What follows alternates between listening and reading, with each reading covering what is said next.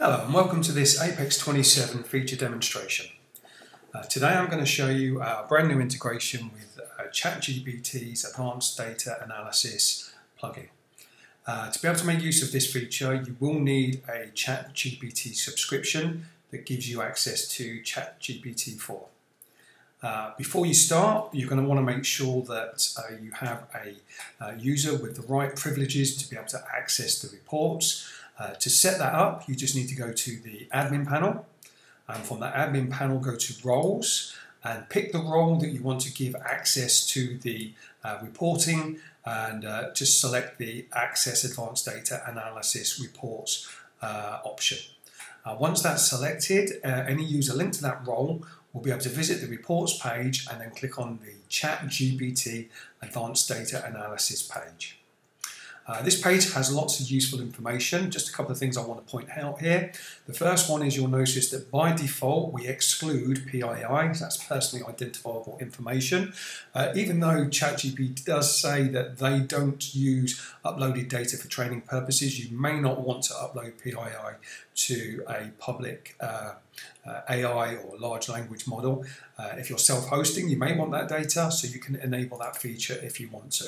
I'm going to leave it off for this example though. Um, the other thing that I'd like to point out is we have some example prompts, and I'm sure we'll expand on those as time goes by, as well as some custom instructions. Now, uh, if you have a ChatGPT uh, account, you can set custom instructions so that uh, ChatGPT behaves in a specific way, and you may want to make use of our custom instructions. You don't have to.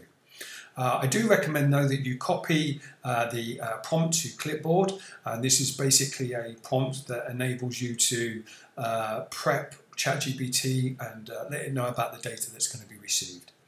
Uh, I'm going to click this little button here though to download the zip file so this is going to generate a, a, zip of the latest set of data inside Apex 27 that we can use to report on.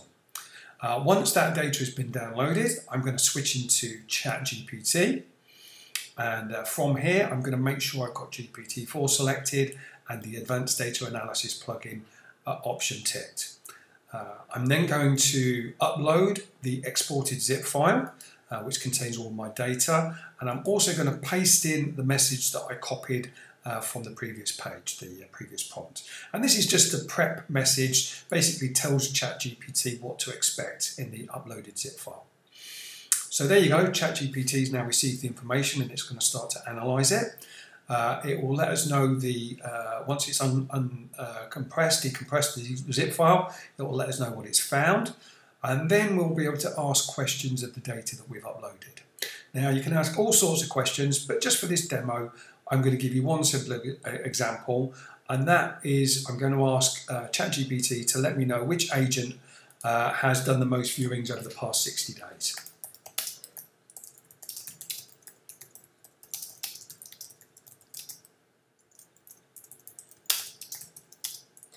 Once I've entered my prompts, I can submit it. Now ChatGPT will um, take a look at the data we've analysed. It will figure out which file it needs to access the data from, and then it will extract the data for us. ChatGPT is very intelligent. It is able to query data across all of those different files we've uploaded. So we can ask questions that uh, need to pull information from multiple sets of those files.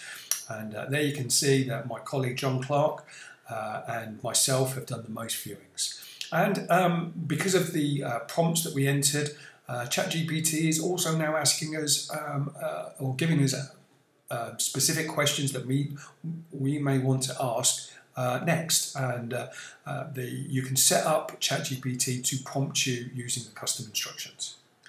Anyway, I hope you've found this uh, uh, initial introduction to ChatGPT with Apex 27 useful. Um, uh, we will be adding more example prompts to the ChatGPT page as time goes on. Thanks for taking the time to watch this video and uh, hopefully we'll see you soon.